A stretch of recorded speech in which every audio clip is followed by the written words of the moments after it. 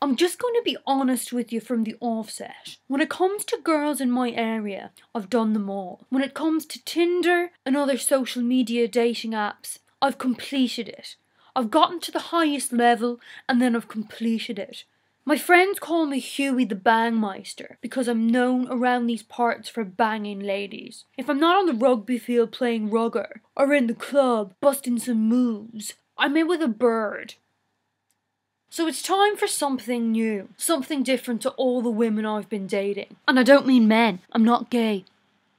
You're just finding me in my room. And I've got this hottie Ryan Gosling behind me. He's a total legend. Bros before hoes, am I right? Not in a gay way though. I'm not gay.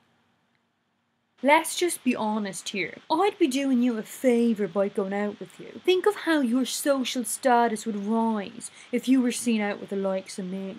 So send me a message in the link below, ladies. And I only mean ladies. I'm not gay, right?